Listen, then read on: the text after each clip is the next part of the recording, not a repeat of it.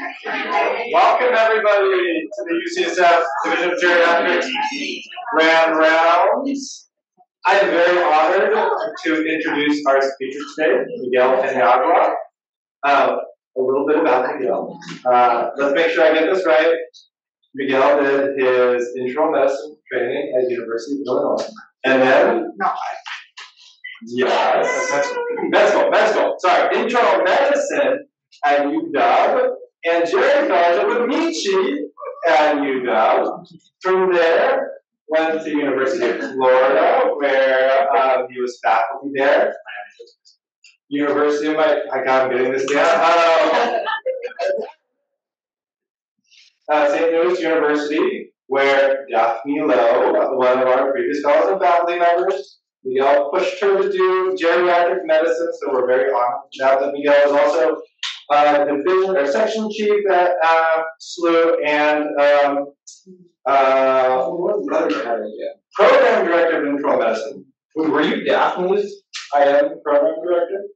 No. No. uh, MStar fact. I'm sorry. Then moved to Philly because I, I heard you like the Mütter Museum, so if anybody needs tours of the Mütter Museum, there's a lot here.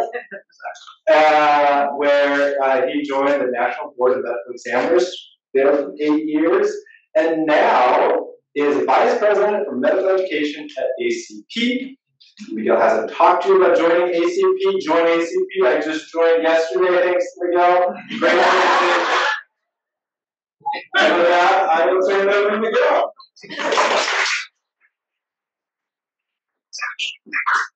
Thanks for that introduction. Uh,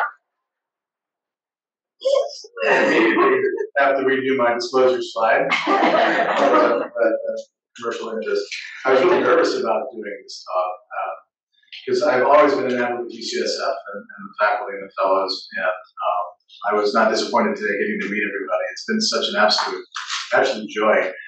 Um, but I also remember what my, one of my mentors, Phil Hazard, used to say about geriatricians. He said, geriatricians, we are the golden retrievers of medicine. So I felt immediately less nervous. uh, talking to my, my fellow, my fellow geriatricians. So, so well, um, Eric screwed this up. I knew I didn't disclose all the things I do with ACP, but I will be talking about um, some things we're doing mostly in research and development related to um, uh, ACP. I'm getting a note that the audio might be a little pixelated, if that makes any sense, just so you know. Okay, thank you. Uh, I'll try not to move around too much. Um, so other than that, nothing to disclose in regards to uh, ACCME. One thing I did today, sort of informally with the fellows and with the faculty, that I've done when I've done versions of, of parts of this talk around the country, is do a bit of a needs assessment, and I asked three questions. One is is talking about the challenges you have with incorporating board prep uh, for either your initial or your specialty certification, your curriculum.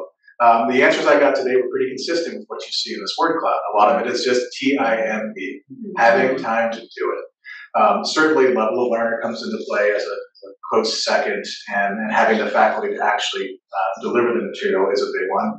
Predominant method you use right now, uh, what I heard from the fellows was questions, questions, questions, uh, which makes a lot of sense. If you're going to learn how to ride a bike, you don't read a book about it, you ride a bike and practice. And so if you're practicing to take a high stakes exam, it makes sense. Doing lots of questions make, uh, will get you prepared. Um, many along the way would say things like lectures, doing review courses, um, uh, even sort of gamification like Jeopardy and, and making competitions, which we'll talk a little bit about as we go through. Um, and then last, what resources have you found most useful? Again, the biggest uh, answer I got even here was questions and um, and doing specific things like whether few oral questions or mixed set questions for your medicine boards, uh, flashcards to, to, to draw from memory, um, and, and, and and you see some of the other other options there. So, so here's what I would like to try to accomplish today, and I want to do this in an interactive way. Those of you online, I'm watching the chat, as you can tell, because I heard about the pixelated thing, and then in person, um, have your cell phones ready. We're going to have uh, ways for you to interact with the content. Um, and I want to be able to identify limitations of some of the traditional methods we encounter when we're teaching and learning in medicine. Um, I, I, also want to touch on some of the challenges that you all have and hear from you about the challenges you have in ensuring competence in geriatrics and palliative medicine. uh, whether it's you and me in the residency space and fellow space and even in CME. And then I'll, we'll get a little bit into some interactive techniques to improve learning in some of these environments. I want to talk a little bit about what we're trying to do to break out of the traditional mold of how we deliver a lot of our content in medical education, especially when it comes to uh, large groups of learners. And then, and then last, end with some, again, some R&D, some future innovations that we're uh, trying to uh, implement and, and test to uh, to do some things different when it comes to teaching and learning uh, in medicine. So here's your first one. This is a QR code. You should be able to answer two questions when you do this. First one is about what generation you are, so you can tell us which which uh, generation you hail from. And the second is what your role is. And one of them also says if you're a resident, we'll say resident slash fellow if you're a fellow. Give you a second to grab that.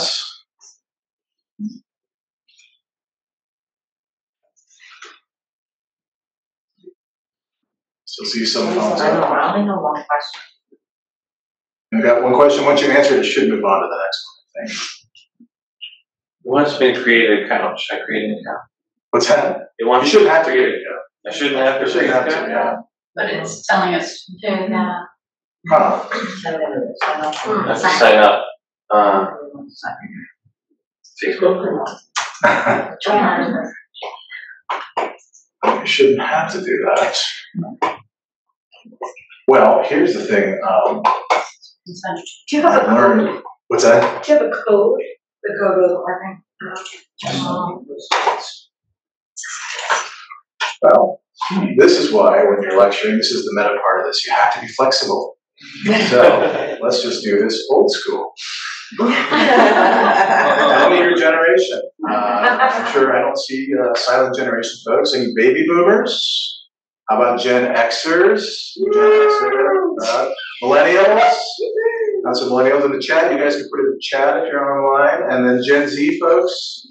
And Gen Z folks? Okay. Oh, okay, so we're predo- predominantly Gen X and millennials, but we've got some others. How about your current role? Students? Any students here? How about residents or fellows? Residents or fellows, faculty? I think most of you are faculty and other. I, I don't want to. I should be more specific about other. It's not a not a not a bucket of uh, just other people. So other like administrators and the like. Oh, 1985, TG went for. Right on.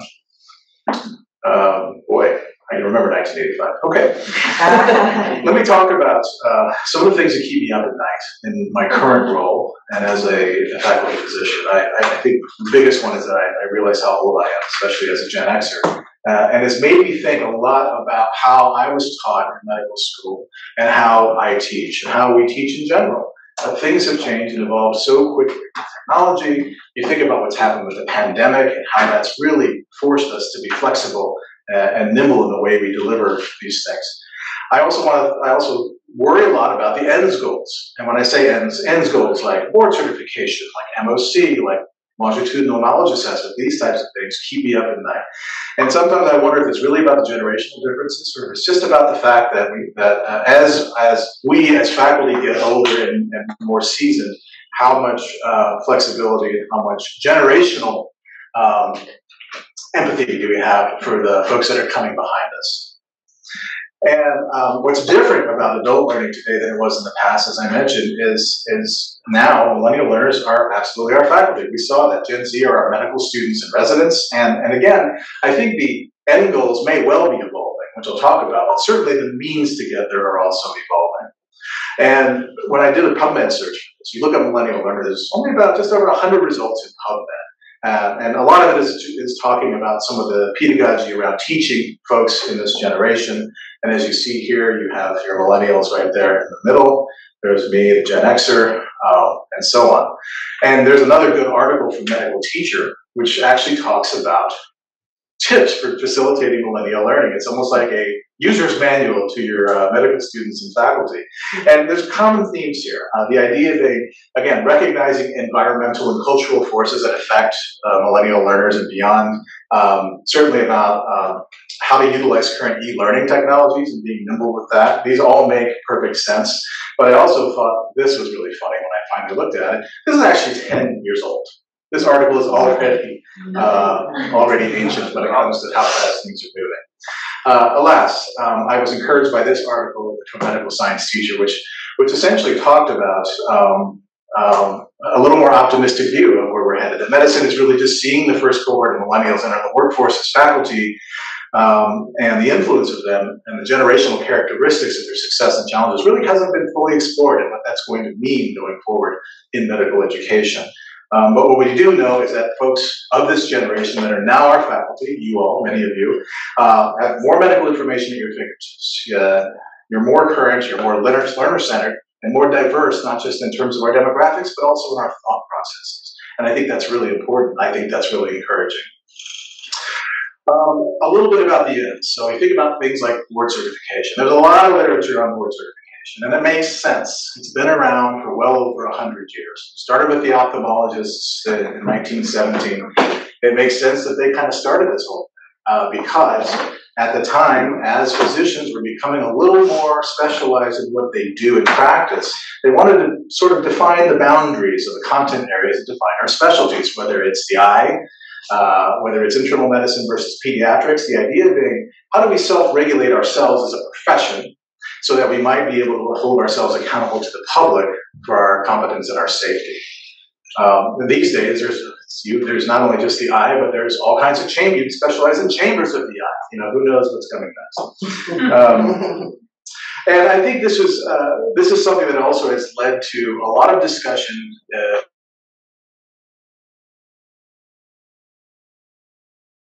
about how uh, uh, to achieve the vision of continuing board certification, especially when you think about if you ever picked up Newsweek or the New York Times or any article in the last 10 years where there was a lot of vitriol towards uh, uh, uh board certification, especially maintenance and certification tends to be uh, tend to be a real driver there. So from that, uh, this group came up with with some guidelines, and I think it's really important to think about this. Um, as, as you decide what you're going to do as you go on in your career as well.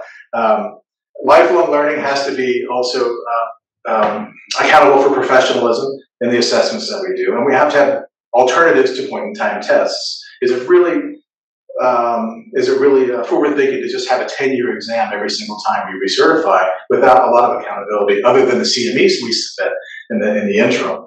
Um, how do you communicate fairness and transparency in the system how do you make sure that we're not punishing subspecialties when it comes to trying to keep these things up over time?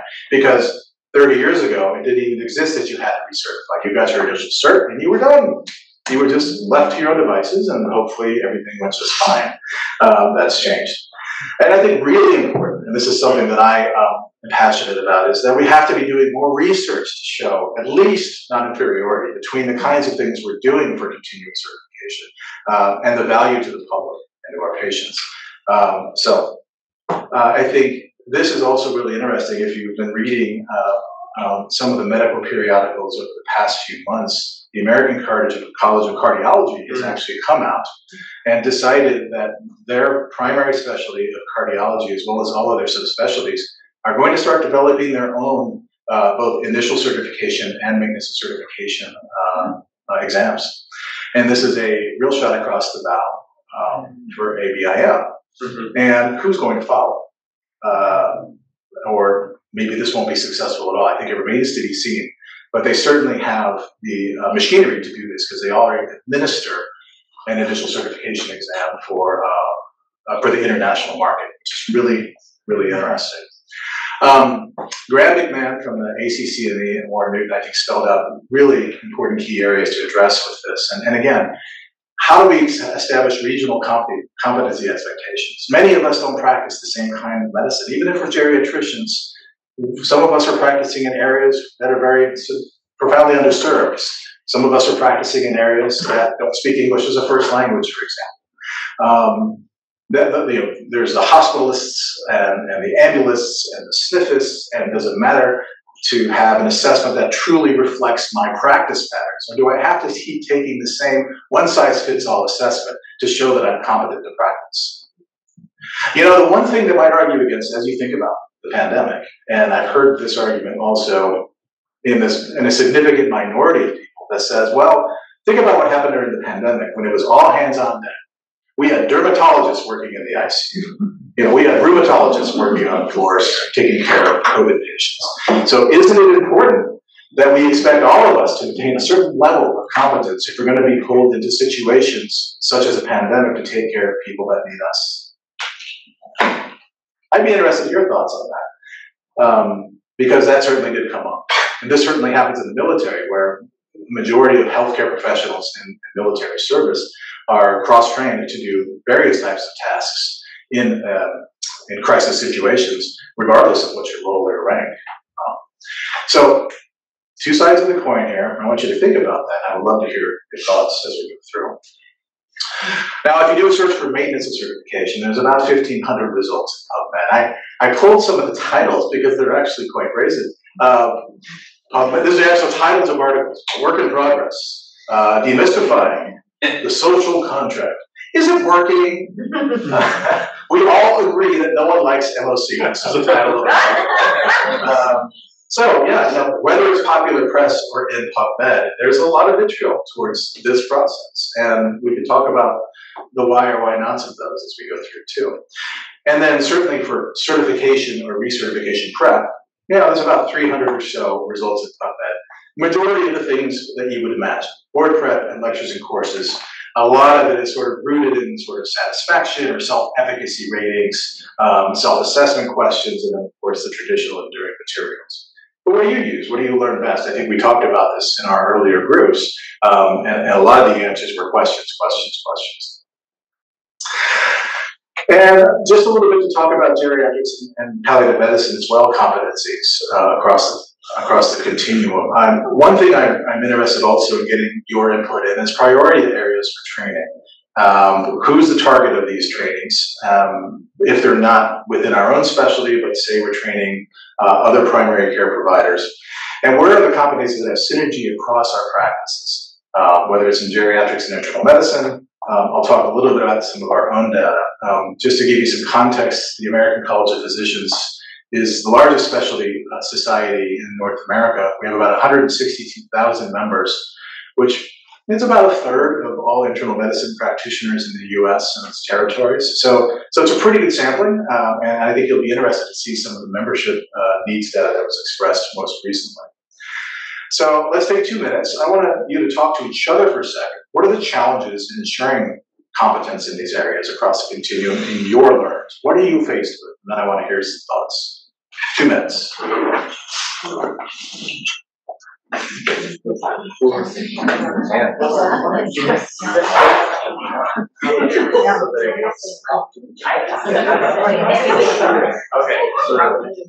If you're online, you can put it in the chat.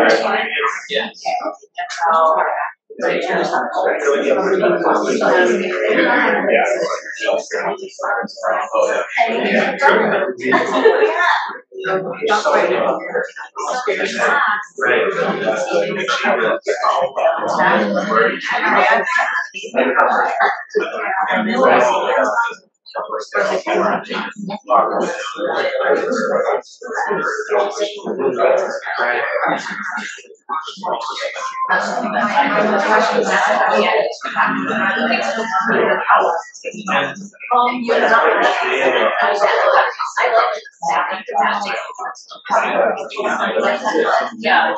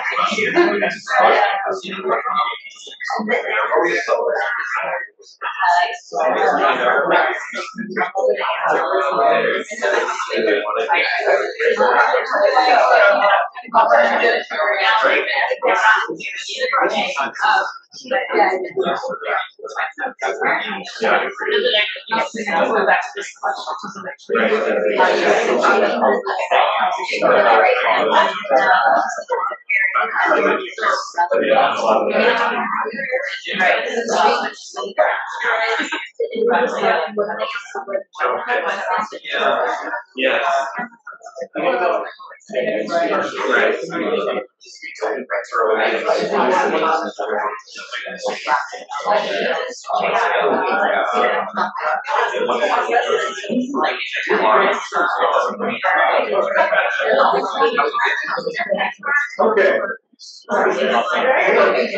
that's two minutes. Thanks for the robust engagement there. Um, I don't see anything in the chat, but certainly those of you online are welcome to put it in the Q and A there. Um, let me just hear from, from a fo- a couple folks. What would you come up with? I don't know, Michi, yes, thank you. I'm trying to work on this right now, but internal medicine residents, they still have no idea what a SNF is like. They need to go through the CMS. I'm, I'm gonna paraphrase for the online folks. Internal medicine residents have no idea what a SNF is. But they get, either.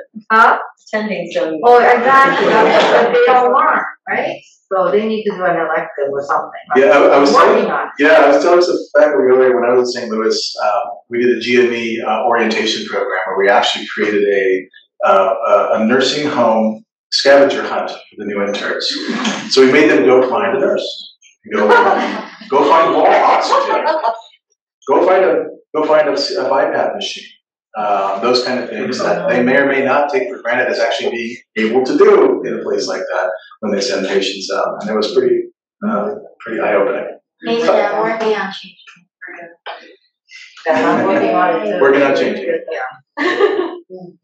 How about uh, at least another one? Any other other thoughts, Eric? yes? We talked about competing demands for faculty, like it, you're so much focused on RVUs that you don't have time teaching. So if you want to do geriatric palate medicine competence and learners, who's going to do it? If Yeah. everybody's focused on clinical revenue. Right. If you have to keep your RVU machine rolling, how can you focus on ensuring competence uh, across the continuum of your learners? And ensuring is a really operative word there, isn't it? Because in many ways we're saying assessment. Are you assessing their competence, even if it's in a formal, informal way at the bedside? Good. Any others? Nothing online, so great, thank you. And so the, the year that I started medical school was the year that the Institute of Medicine Committee uh, created this uh, Training Physicians to Care for Older Americans report. Many of you may remember this. Um, I guess I'd be interested to see if you, if you think that this has significantly changed the landscape in the last 20 plus years. Has it actually gotten better? Especially thinking about the challenges we have. Um, in 2014, I had the opportunity to um, uh, uh, work on a paper with, with your own Anna Chang and some other geriatric leaders looking at GME uh, um, complexities and trying to come up with an education agenda for internal medicine and geriatric medicine. And um, there were three priority areas that came out of this, um, and it was a lot of it was also citing some of that initial 20 years prior Institute of Medicine report.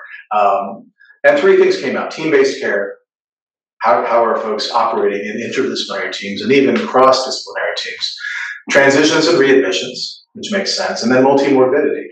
And, and certainly, uh, knowing that medicine residents, as, as many of you have alluded to, they're caring for complex cases in an increasingly complex system that they're working in, um, that there needs to be more emphasis on some of these competencies, especially when they're transitioning out of the hospital to uh, another setting, uh, attention to multimorbidity and its effects on things like prognosis and certainly team-based care.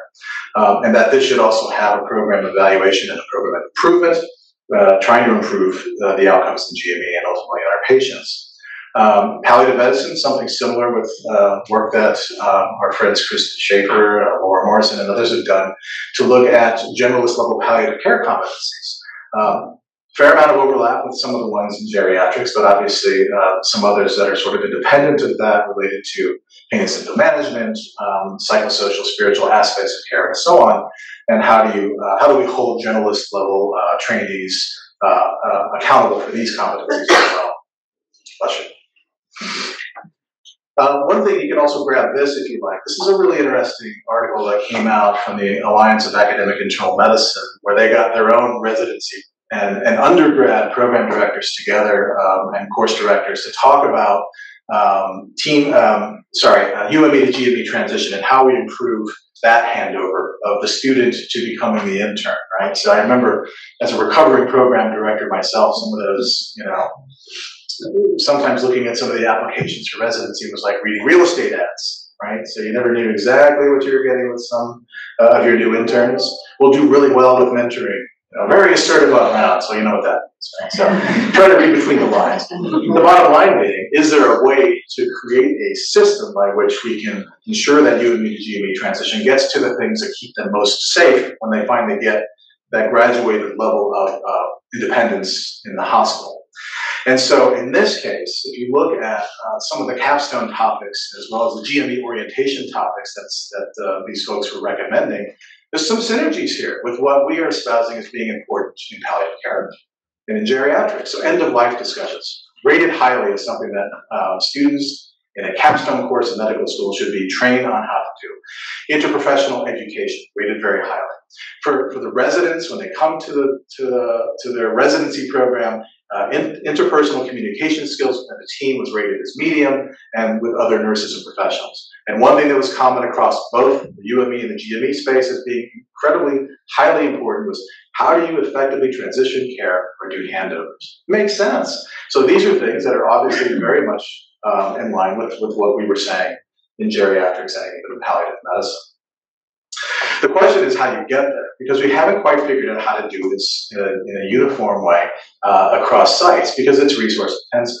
And just to give you an idea, also what's happening with us at ACP, this is this is, this is a needs assessment that we did uh, over the past two years for folks that did any CME activity in internal medicine through ACP, and things that they wanted or things they searched for. And in the top, um, and, and this, this is a, a probably could be five slides long when you look at what's listed here, but geriatrics and things like osteoporosis are rated as things that members needed to learn more about. These are top, and we're talking general internal medicine physicians, the majority of which aren't academic physicians. These are folks that are working out in practice, in private practice many times, or in group practice settings or hospital-based settings. And, and just a close second, uh, it's certainly in the top half of needs was end of life and palliative care. Now, when you look at what we're able to offer, at least in, in the work that we do, um, on this axis, you see here, this is requested topics from member surveys, uh, whether it's from meetings or from CME uh, types of activities. And the low to high content availability is on the left side axis, and then the low to high member demand is on the, on the bottom axis. And the purple dots here rep represent um, um, activities that are actually state CME requirements for these folks. Okay, so right here in this area are things like delirium dementia, end of life and palliative care, osteoporosis, and the care of complex cases. This is what we do. And this is what general internal medicine physicians want and actually don't necessarily have a lot of access to. So there is a need here, is what I'm saying. And we've known this need existed for the last 25 years. And I can I compel you to try to help fill these gaps because we need help. Um, here, actually, is geriatrics specifically. A big swath of people were asking for geriatrics content, and in many states, there are state-based CME requirements for uh, specific types of geriatric competencies. So going back to the uh, recommendations and thinking again about the GME space, um, this is the challenge, and this is what, what you were saying earlier if we're going to do this, we need time to do it. And if we need time to do it, then we probably need money to do it. Um, and, and certainly these faculty that came up with these guidelines concede that you need a broad bench of facilitators to be able to do this, and it's very resource intensive. Um, but certainly depends on the on potential delivery methods. And certainly if you're going to do things like simulations or other types of things, high upfront resource uh, intensity, and we'll talk a little bit more about that, versus didactic types of things. And if you look, you know, a, a, lot of the delivery formats that were recommended, at least as one of the options, half of the topics in the UME capstone topics were saying you should you could give it as a lecture or a didactic. And the didactic could be anything from a large group lecture to a small group teaching session to a bedside session, right? The UME capstone topics, I'm sorry, the, the GME orientation topics, 100% of them said, well, we could probably figure a way to do this in a didactic way for all of these things. So this is why I want to talk a little bit about interactive techniques to improve learning in various ways. Where are we going? Where have we been when it comes to doing things like lectures and didactics? Um, and, and, a little bit about the history of continuous professional development. So, so this is um, uh, uh, the anatomy lesson, we're gonna do a little bit of a history lesson. I'm hoping not to induce any postprandial ptosis here. Uh, I'm not gonna look at paintings all afternoon. But, uh, it's interesting to me that this is not a new topic, that, and this is not a new, uh, um, uh, idea, is to put the patient at the center of the teaching of medicine, right? And whether that patient is a cadaver, or the patient is at the bedside, in this case, uh, you know, at a teaching hospital with the residents uh, standing around and interviewing a patient, an expert faculty member interviewing the patient. Certainly, we know William Osler, this is him at Pennsylvania Hospital uh, teaching medicine uh, at the cadaver table.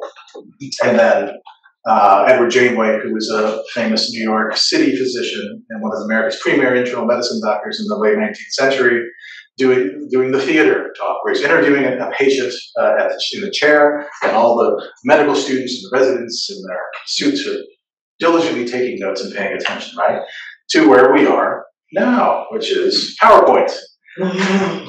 And I, I, my personal opinion is that in many ways we, we have a tendency to have devolved into PowerPoint. Um, and, and, and in many cases, you could argue we've taken the patient out of the classroom. Um, so a little bit more about that. Uh, the challenge here, again, is exactly everything that you said. We got to have the time, and we have to have the resources, and the faculty development in many cases, especially for our newer faculty, to deal with things like organizational issues, um, how to deliver quality lectures that actually make behavioral change in our learners.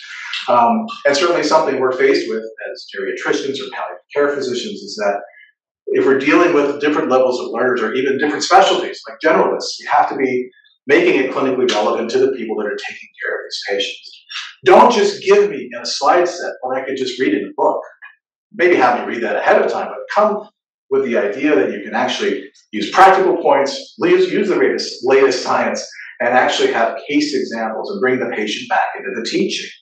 Um, everything was also, you know, thrown into disarray, as you know, when we had to go online in the pandemic, and certainly a whole different and overlapping skill set to do this kind of teaching and this kind of learning in an interactive way online.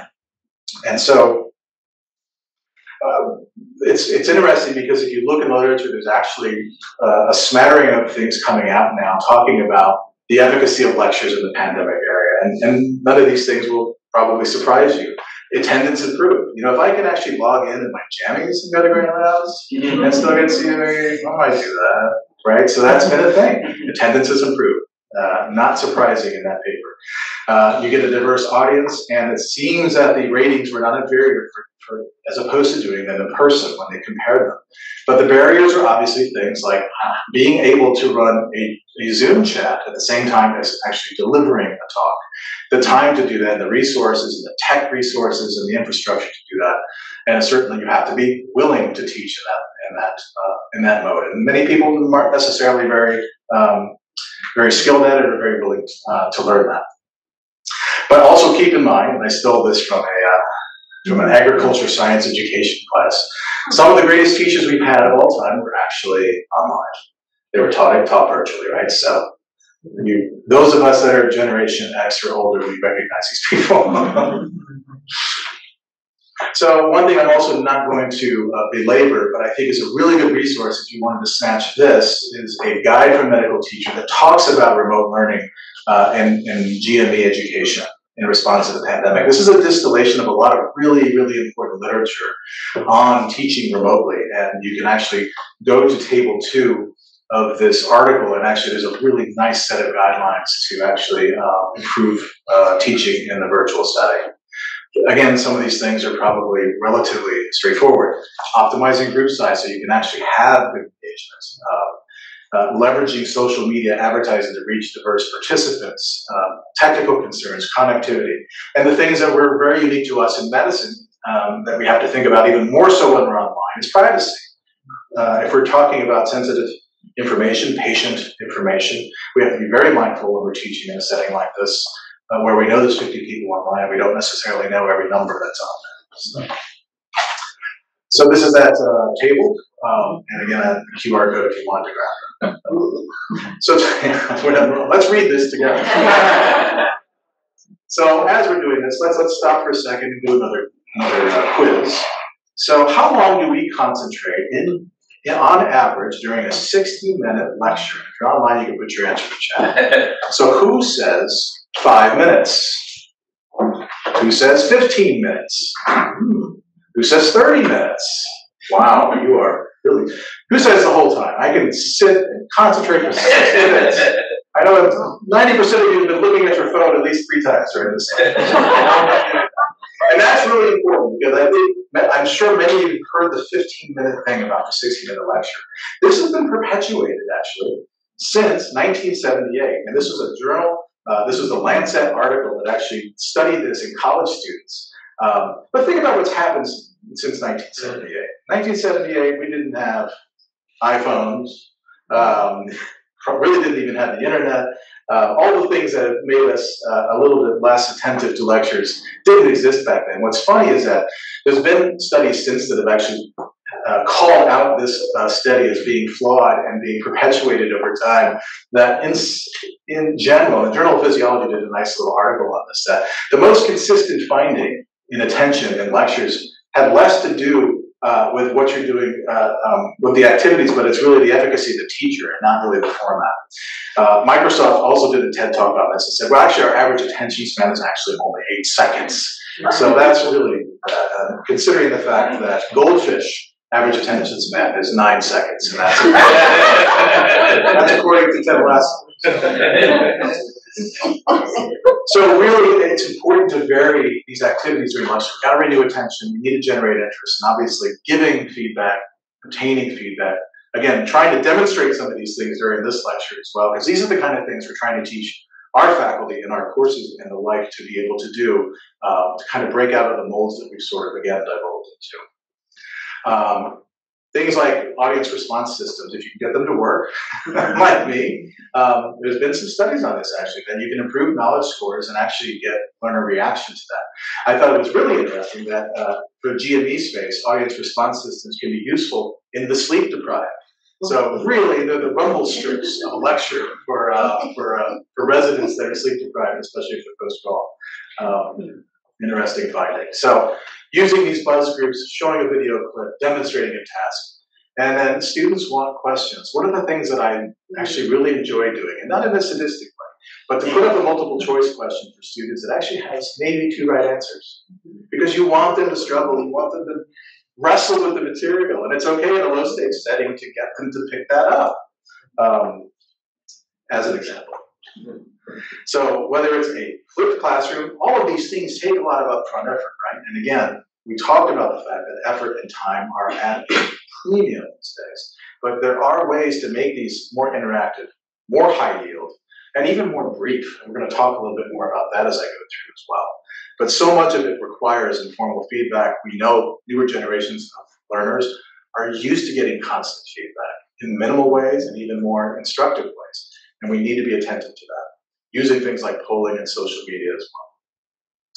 So, just because we've always done it this way doesn't mean it's not. it might be a little harsh, but the idea is, uh, is there.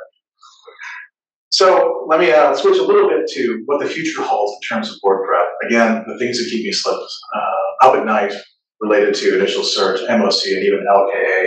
And I'd be interested to know what people are doing. Um, what are you going to be doing in your future? Are you going to be doing, who's going to be doing or has been doing the 10 year exam? How about anybody in LKA? Yeah, I'm in LKA. I'm, I'm doing geri and internal medicine. So who's not doing either of those things? Forget it, I'm not doing any of them. Okay. Good. Okay. And uh, got some folks online who are going to do LKA. Yeah, you know what? We, we can talk about LKA. Um, What's interesting, if you look at ABIM's data, um, and this is actually, this data is now, almost, it's well over a year old. These numbers have gone up. We're 80% of folks uh, are actually choosing LKA over the traditional assessment. So, uh, and, and, a smaller proportion of people, as they're approaching their 10 year deadline, are actually choosing the 10 year exam, or enrolling in LKA which is an interesting phenomenon. I don't know whether it's good or bad. It goes back to the idea that the burden of, uh, of evidence is still there as to whether LKA is equivocal to a 10-year exam, whatever that might actually mean in terms of patient outcomes and patient safety and competence. Um, because in many ways, I feel like they've been building the plane as they started flying. So we'll see. Um, so I want to um, wrap up here with a couple of discussions about some future innovations. What does the future hold for some of these uh, uh, ways of delivering content?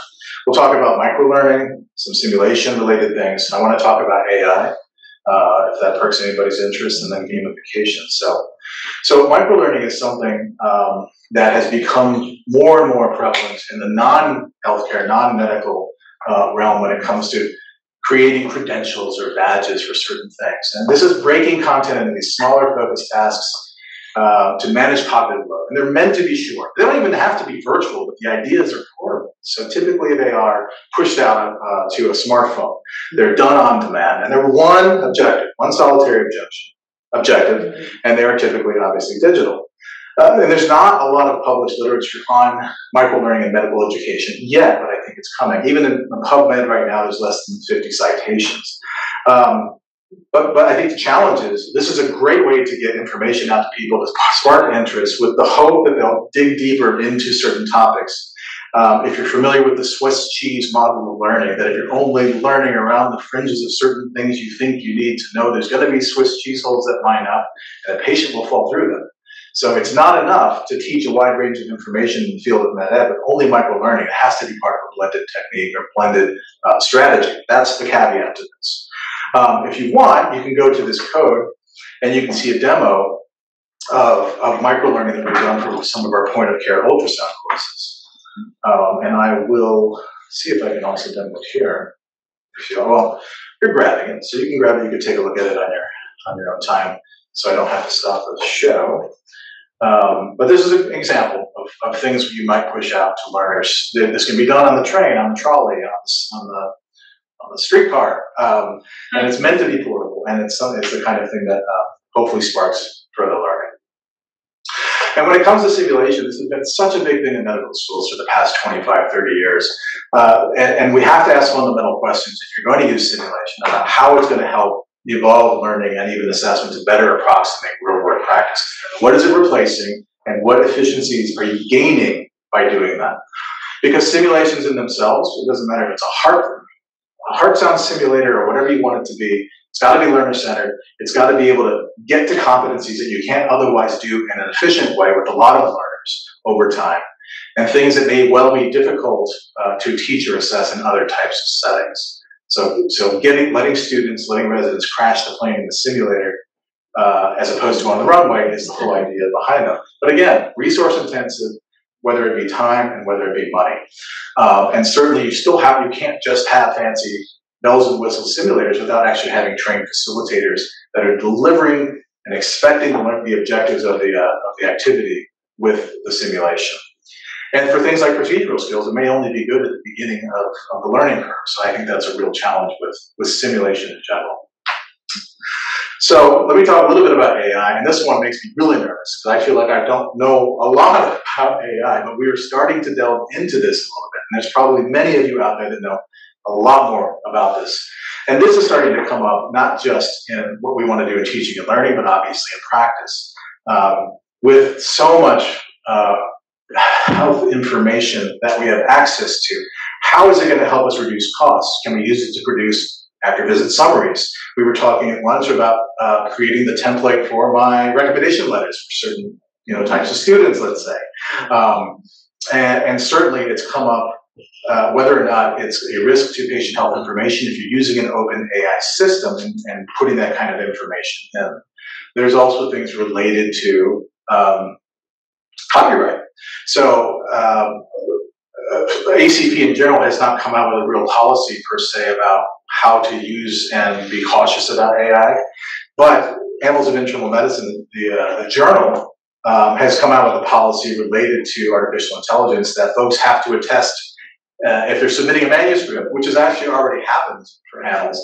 Someone submitted a manuscript that utilized artificial intelligence, and, and that, that artificial intelligence, it actually says this in the policy, artificial intelligence should not be listed as authors because they cannot be responsible for the accuracy, integrity, or originality of the work. kind of talking about AI as a person, as an author, but it's already happened. So um, they had to very quickly come up with policy related to this. Um, this um, this uh, research letter that was submitted related to clinical decision making in cardiology is an example of, of some of the things that we've come up against with copyright because the, those questions are actually copywritten, you need permission to use them.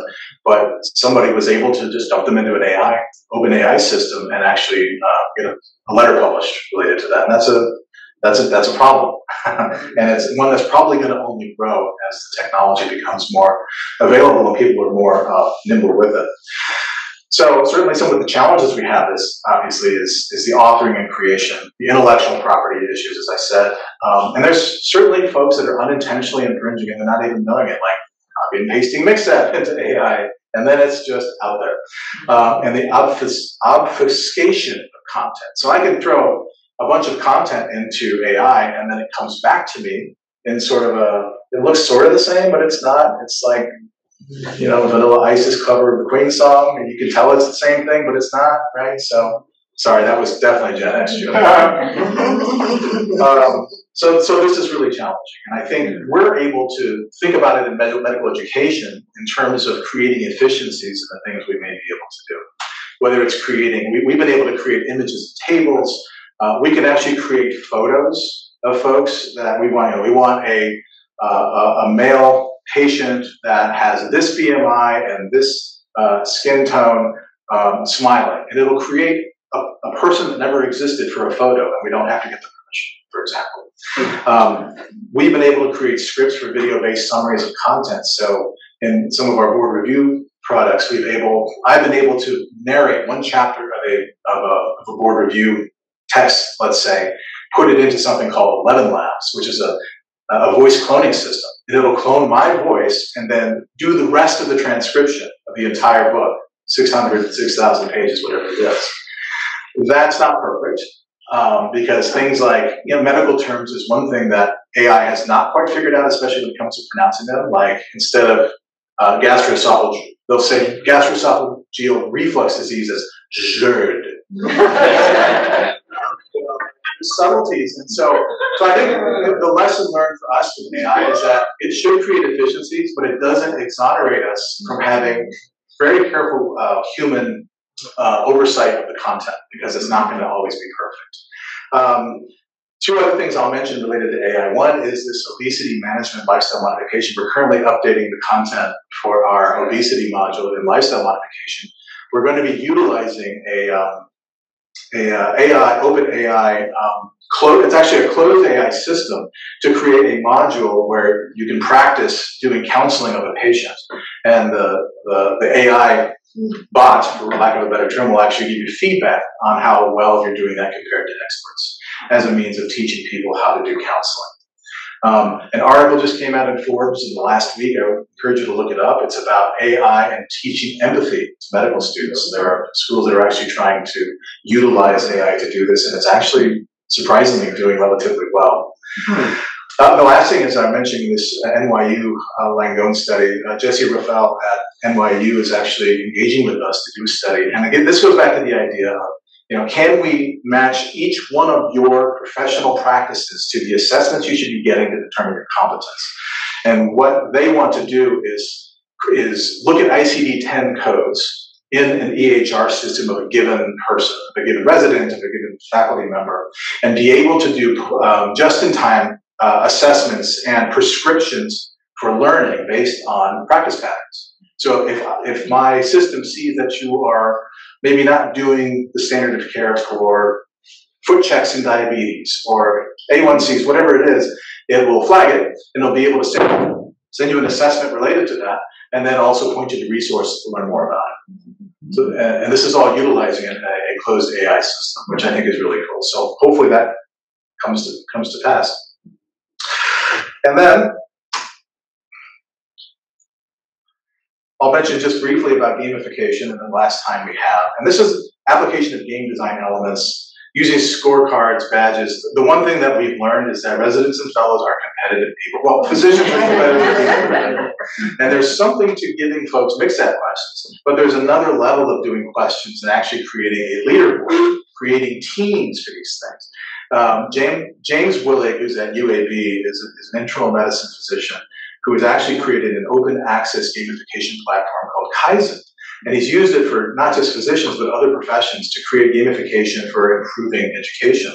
And you can go on the site and actually see examples of this. This is one where um, he created a site for infectious disease fellows to actually have a contest um, uh, related to um, infectious disease IDSA um, prep materials. So they would do 10 questions at a time, you would get feedback just like this, and then you see there would be this national leaderboard with various teams and things. And what they found in that is that you had you had ongoing engagement of folks in the actual question and the learning, people keeping up with milestones related to what they were expected to read and learn, and continuous improvement.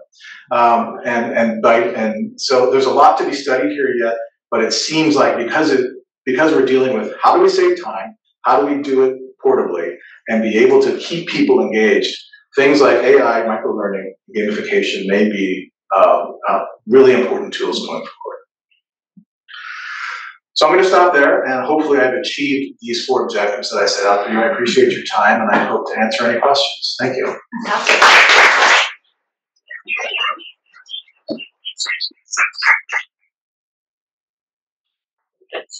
Okay. Thank you so much. We actually uh, would like to give you this plaque. It says a teacher affects attorney. And just as appreciation for you being one of our visiting professors. So thank you so very much. Thank you. First question, what the folks are thinking about questions. And there are so many interesting research questions to ask about effective learning tools. What's the funding mechanisms for doing these types of, of studies? So the, the question is, what's the funding mechanism for doing these types of studies? I would say uh, the the typical funding is called an unfunded mandate. Um, there have been instances where we tried to do some of this stuff and, and actually had to go with unrestricted grants from industry. Uh, I think we, you know, and, being able to do that can put us at odds with our ACCME accreditation. So we have to be very careful and uh, when we're doing that. But but in many cases, there's just not a lot of funding for education. You know, uh, gone are the days of the Hartfords and the Reynolds grants and these other things that were so pivotal in getting some of this stuff, getting lots of my career, GACAs, things like that, um, uh, are just few and far between. And so I don't know where we're headed in terms of trying to lower our guard, do a thoughtful reevaluation of how the folks with the, the deep pocket can actually help us do better education. And in many cases, we've gone to folks like Nordisk, you know, for diabetes things, Abbott for continuous glucose monitoring, and saying if you if we can get an unrestricted grant where we don't have to actually do anything very specific to your products and things like that, then we won't be in arrears with with our accreditation. These are very difficult lines to um, to draw. I'm looking online. I just want to make sure I, I, I answer anything that's come up here. Um, the extent to which med ed should tackle instruction in broader areas in clinical biological science, such as sociology, politics of medicine, um, driving healthcare outcomes, structural factors like racism or poverty, potentially how to advocate. Ooh, I just lost these questions. Sorry, go to answer. Um, so I think, goodness, uh, how to advocate or organize to improve these conditions. Curious and thoughts on the pulse of where this is going.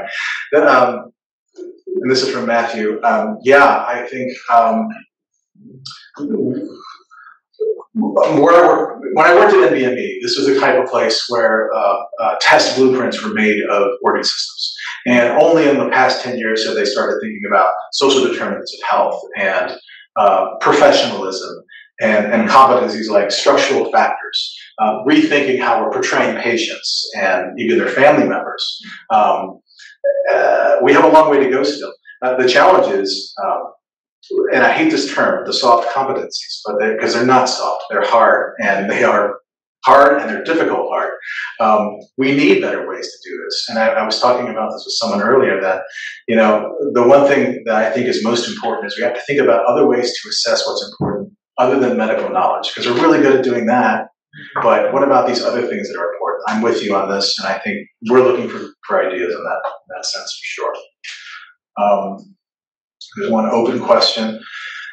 Uh, when you asked about wish list for med student understanding of geriatrics, was thinking how I want them and us to understand more how forces like private equity shape nursing home and hospice care.